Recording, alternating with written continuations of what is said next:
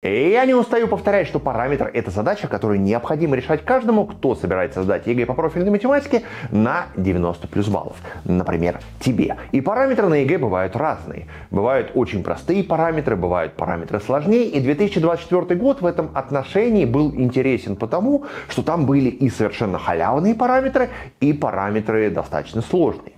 И сегодня мы посмотрим с вами на один такой параметр, который был на ЕГЭ, например, в Москве. Ты на канале Профиматика, я Игорь Уколов. Ставь лайк, подписывайся и пошли уничтожать параметры.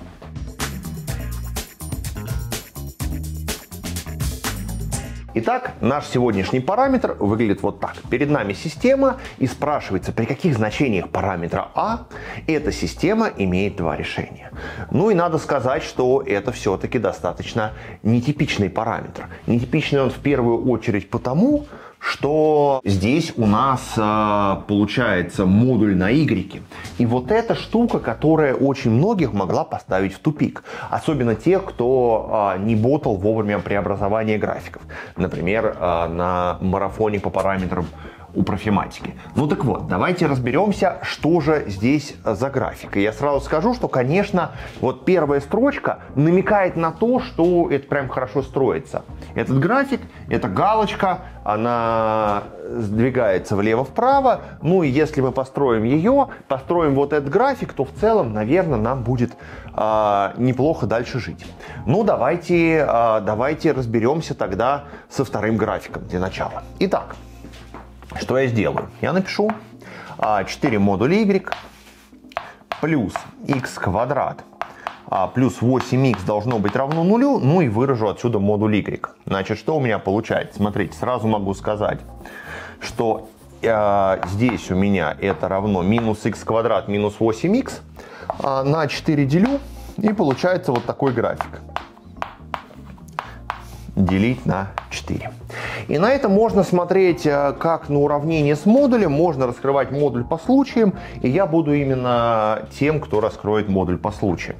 Я скажу, что у нас а, y равен минус x квадрат минус 8x делить на 4 а, при, соответственно, y больше либо равно нуля, тогда у нас модуль раскроется с плюсом.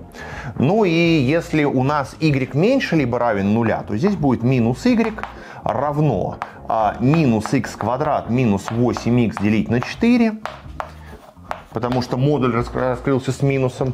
Но мы видим очень много минусов, давайте мы их уберем. Вот этот минус убираем, вот этот минус убираем, но вместо этого минус просто напишем плюс. И получились а, два вот таких графика, которые на самом деле парабола. Парабола здесь с ветвями вниз и парабола здесь с ветвями вверх. Ну и давайте мы сразу это построим. Это будет для нас важно. Значит, я сразу на опыте. Значит, здесь у меня x, здесь у меня y, это ось x, y. Ну и давайте начнем с параболы с ветвями вверх.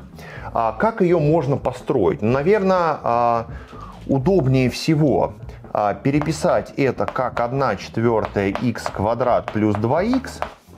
Вот. Ну и посчитать вершину параболы. Значит, у меня а, x вершина это минус b а, на 2а на 1 вторую, то есть это минус 4. Ну а y вершина это я минус 4 подставляю, получается 16 минус 32 э, минус 16, минус 16 делить на 4, это минус 4. Вот. Получается вершина в точке минус 4, минус 4. Ну, еще если вы совсем прямо наблюдательный, а, то вы, наверное, еще и заметите, что а, при x равно нулю и при x равно минус 8 у нас числитель становится нулевым, ну, значит, а, парабола пересчет ось в точке 0 и в точке 8. Ну и так как нам нужно y меньше нуля, я беру только ту часть, которая снизу. Здесь я беру только ту часть, которая снизу. Так, теперь давайте сразу я отмечу еще, что это а, минус 4, это будет для нас крайне важно. Значит, а, парабола, которая здесь, она почти такая же, минус 1 четвертая x квадрат минус 2x, y равно. Вот, ну и у нее я тоже могу посчитать x вершину. Минус b это 2 на минус 1 четвертую. Так, 2 на минус 1 четвертую, на минус 1 вторую. Это минус 4, те же самые минус 4. Ну, а y вершина, это я минус 4 подставляю. А, получается, а, смотрите, у меня получается, ну, могу, могу сюда подставлять, в том числе минус 4. Значит, здесь у меня получается минус 4 плюс 8, получается просто 4. Значит, здесь у меня по x вершина минус, э, по x минус 4, по y 4. Ну и на самом деле получается сверху, э, давайте здесь синим, значит, здесь у меня 4, ну и вот такая вот веточка пошла. Вот. Две параболы, вот такой вот график, ну и казалось бы, э, уже достаточно большая часть работы сделана. Давайте теперь разберемся, а что такое. А, и давайте, давайте сразу мы понимаем, что вот, вот это относится вот к этой половинке параболы, а вот это относится вот к этой половинке параболы, нам это будет важно. Давайте теперь разберемся с верхним графиком. Верхний график это а, на самом деле галочка. Значит, я ее здесь давайте сразу нарисую отдельно. А, она сдвинута на А вправо, и на минус 4 вниз. То есть это галочка, у которой начало в точке минус 4. Как вообще понять начало такого графика? Если я беру x равно а, я получаю y минус 4. Ну и вот у меня получается здесь вот точка А. Ну и пошла раз веточка, пошла два веточка, достаточно типичный график, который должен знать каждый, кто планирует решать параметры. Вот. Но а самое важное здесь это понимать, как вот эти ветки задаются. И на самом деле вот эта ветка, у нее уравнение, это э, мы раскрываем модуль с плюсом, x минус a минус 4. Ну а вот эта веточка, это y равняется, модуль раскрывается с минусом, минус x плюс a минус 4. Вот. И вот, а, собственно, давайте мы теперь этот график перенесем вот сюда. Он ездит по прямой минус 4. Смотрите, как удобно, не зря я отмечал точку минус 4. А, ну и а, он как-то должен пересекаться с нашим вот этим, не знаю, яйцом. Вот, он как-то пересекается с яйцом. Ну и давайте, давайте смотреть, какие здесь могут быть пересечения. Я начинаю двигаться с далекого отрицательного А, вот так вот я нашей галочкой двигаюсь, и а, первое положение, после которого вообще начинается пересечение, оно вот такое. Это вот первое, а, первое положение. Значит, я, наверное, сразу нарисую последнее положение. Оно достаточно симметрично. Это будет последнее положение. Происходит это, когда мы начинаем касаться а, вот этой вот а, синей, синей параболы. И дальше мне интересно, конечно, что происходит внутри. А внутри, а, если я начинаю двигаться, вот эта ветка, у нее два пересечения, два пересечения до тех пор, пока не начнет а вот эта веточка тоже как-то соприкасаться с этим графиком. И здесь я получаю следующее интересное положение. Я его уже нарисую желтым. Оно вот такое. Вот здесь у меня начинается три решения. Касание, раз и два. Когда я э, начинаю этот желтый график двигать, то у меня отдельно будет случай, когда эта точка попадает вот сюда. Тогда у меня будет раз, два и три решения. Ну и потом их опять будет четыре, потому что вот эта прямая будет пересекать яйцо в двух точках, и вот эта прямая будет пересекать яйцо в двух точках. И так будет до тех пор, пока мы не придем вот такое желтое положение, где, соответственно, у нас опять же будет три решения. И двигая дальше, у нас вот эта ветка будет иметь две точки вот до этого уровня, а вот это вообще не будет пересекать. То есть у нас получилось на самом деле четыре положения.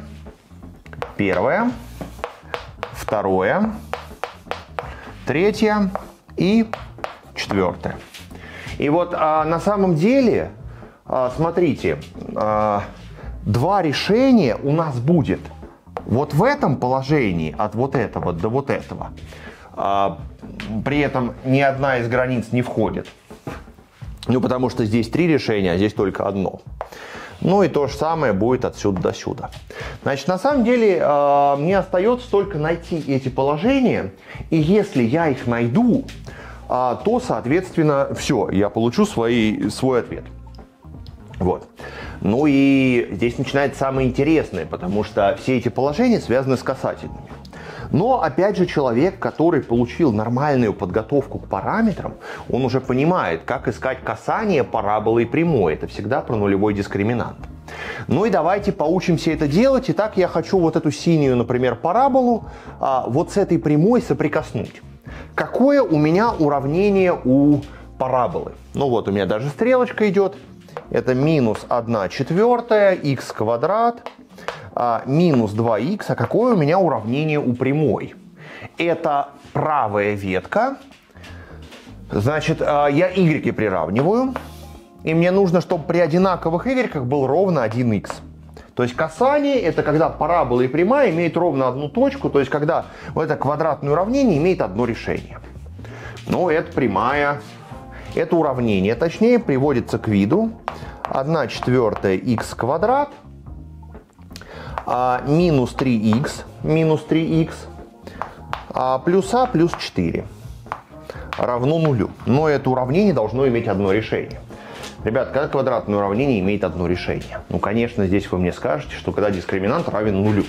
Так давайте его посчитаем. Дискриминант а, получается, значит, это b квадрат, минус 3 в квадрате 9, а, минус 4, значит, минус 4а, минус 4 на минус 1 четвертая это единица, поэтому плюс а плюс 4 равно нулю. Ну и тогда получается, что а равно минус 13. а равно минус 13. Так, первое положение, а равно минус 13 найдено. А тут на самом деле сразу можно найти четвертое положение. Совсем круто, если вы понимаете, что вот этот график за счет парабол симметричен. Галка тоже симметрична, значит на самом и ось симметрии а, параболы у нас это а равно минус 4, не зря здесь минус 4. Поэтому а, должно вот это положение 1 и положение 4 должны быть симметричны. То есть на самом деле, если здесь а минус 13, а здесь минус 4, то вот здесь у меня 9, ну и значит вот сюда мне еще плюс 9, то есть здесь должно быть 5. Положение 4 должно быть а равно 5. Но давайте мы с вами все-таки это найдем. Это у нас та же самая парабола. Значит, это было положение 1, теперь положение 4. Это та же самая парабола а, минус 1 четвертая х квадрат минус 2х, но прямая другая. Это левая ветка минус х плюс а минус 4. Минус х плюс а минус 4. Теперь мы взяли уже вот эту веточку, ну потому что касание слева. Что у нас получается? У нас получается квадратное уравнение минус 1 четвертая х квадрат. Значит так, минус х минус а плюс 4 я хочу равно нулю. Мне опять же нужно одно решение, то есть нулевой дискриминант. А, ну и тогда дискриминант у меня, дискриминант у меня это а, 1, потому что минус 1 в квадрате 1, дальше минус 1 четвертая умножить на 4 это плюс 1, то есть минус а плюс 4 равно нулю. Ну и отсюда я как раз получаю те самые заветные а равно 5, которые я и прогнозировал. То есть вот это положение а равно 5. Симметрия работает. Теперь давайте найдем положение 2. Значит, чем характеризуется положение 2? Положение 2 – это парабола, ветви которой направлены вверх, то есть вот эта парабола, 1 четвертая х квадрат а, плюс, 2, плюс 2х должна касаться кого? Левой ветки. Левая ветка – это минус х плюс а минус 4 минус х плюс а минус 4. И теперь а, отсюда я получаю квадратное уравнение 1 четвертая х квадрат плюс 3х а, плюс 3х минус а плюс 4 равно нулю. Ну, по традиции а, считаем дискриминант. получается 9. Дальше 1 четвертая на минус 4 минус 1. Минус 1 умножить на минус а это плюс а. Минус 1 умножить на 4 это минус 4. И получается отсюда, что а равно минус 5. Ну, здесь получается, что если дискриминант 0 это а плюс 5, ну, значит а равно минус 5. Вот, вот это положение у нас а равно минус 5, вот это минус 4, ну, значит, по логике это должно быть минус 3. Ну, давайте не будем верить на слово, а просто проверим. Третье положение. Опять же, пора была ветви которой направлены вверх, значит, должна, соответственно, касаться прямой а, вот этой вот, вот этой желтой прямой, то есть x минус а минус 4. x минус а минус 4. А, ну и тогда получается 1 четвертая x квадрат плюс x плюс а плюс 4 равно нулю. Ну и хочу опять один корень, то есть дискриминант хочу посчитать. Дискриминант у меня это 1. Дальше здесь 1 четвертая минус а и минус 4 равно нулю. Получается минус а минус 3 равно нулю. Ну, значит, а равно минус 3. И все, как мы прогнозировали, так и получилось. А равно минус 3.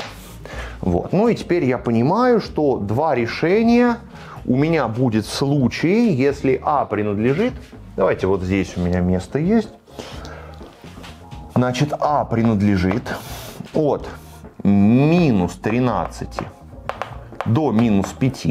Это от вот этого положения вот до этого. У меня вот эта веточка имеет как раз два пересечения, а эта ветка вообще не имеет пересечений. Объединенная, второй промежуток от минус 3 до 5. Отметим, заметим, что оба промежутка а, в длину как раз а, 8 клеток, то есть все симметрично. Вот. Вот такой вот ответ и вот такой параметр. Что хочется сказать? Что несмотря на то, что мы вроде решали одно и то же и вроде нам было легко, но на самом деле здесь много нюансов. Надо знать сдвиги этого графика, уметь все это строить. Надо уметь строить вот такую параболу. Надо вообще понять, что эта система решается именно графически. А, надо уметь а, анализировать а, два графика, один из которых движется, другой нет. И надо, конечно, уметь искать касание. А чтобы уметь искать касание, надо понимать, какая часть графика с модулем имеет какое уравнение, ну дальше приравнивать, считать нулевой дискриминант. Ребята, я считаю, что эта задача достаточно сложная. И практика показала, что достаточно много ребят, а, кто вроде неплохо готовился к параметру, все равно эту задачу завалили. Вот. Хорошая новость в том, что всему этому, конечно, можно научиться. И, ну, на самом деле, вот а, при правильной подготовке это действительно а, задача несложная. То есть, если вы в прошлом году учились бы на курсе профиматики, то а, для вас, как для большинства ребят, это должна быть достаточно вот такая понятная и легко решаемая задача. У нее есть еще разные всякие способы решения хитрые, которые мы тоже показывали, даже если здесь не все получается, можно было а, решить ее по-другому. Ну, короче, при грамотной подготовке такие задачи не будут для вас проблемой. Что с этим можно сделать? На самом деле два варианта. Первый. Прийти на курс профиматики, годовой курс, на котором вы получите системную подготовку не только по параметрам, хотя параметры, кажется, это основная фишка. Это то, чему мы, возможно, умеем учить а, лучше всех из тех, кто готовит к ЕГЭ. Вот. А, ну, а на самом деле вы получите полную всестороннюю подготовку, вы получите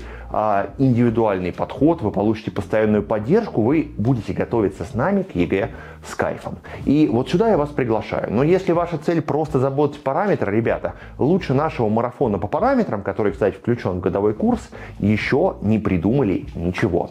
Поэтому, а, если у вас нет базы по параметрам, и вы не знаете, как зайти в параметр, вам точно, ребята, вот сюда. Вам на марафон, где, соответственно, мы отдельно там 45 различных навыков, из которых собирается решение параметра. Мы отдельно учим строить вот такие вещи, мы отдельно учим строить вот такие вещи, мы отдельно учим находить касание, мы отдельно учим анализировать графики. Все это распадается на набор приемов, и дальше ваша задача на ЕГЭ просто из а, набора инструментов, который разложен перед вами, выбрать правильные, которые нужно приложить к этой задаче. Это гораздо проще, чем в панике искать какие-то инструменты, про, про которые вы еще не знаете, как ими пользоваться.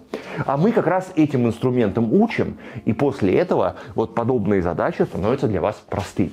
Поэтому, ребята, очень рекомендую годовой курс. Ну а хотите просто параметр, приходите на марафон, вы точно об этом не пожалеете. Ну а с вами был канал Профиматика, Игорь Колов. Математика будет понятной, особенно если смотреть ее здесь, что я вам, собственно, очень желаю делать. Но у меня все. До новых встреч.